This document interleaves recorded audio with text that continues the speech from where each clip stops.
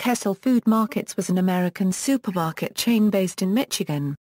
It began in 1981 when Owosso, Michigan native Al Kessel, a former executive vice president of Hamady Brothers Supermarkets, purchased Kroger locations in Corunna and Saginaw. Kroger closed these stores due to Michigan's poor economy at the time, and failure to reach union agreements. After Kroger closed all five of its Flint locations in 1982 for the same reasons, Kessel purchased them as well, followed by 13 Hamady stores after the chain filed for bankruptcy in 1991. At its peak, Kessel Food Markets comprised 24 stores.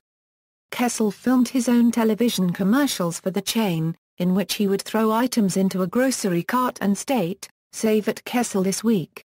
Why? Because we're with you. The Kessel chain was frequently targeted by workers' unions in Saginaw. By 1999, four of the Kessel stores had been converted to Save-A-Lot or closed, while the rest were sold to Kroger, which briefly continued to operate them under the Kessel name before converting them. Kessel's company, Kessel Enterprises of Grand Blanc, Michigan, continued to operate the Save-A-Lot stores and local Pet Supplies Plus stores. Kessel died December 28, 2012 at age 74 of esophageal cancer, in Naples, Florida. References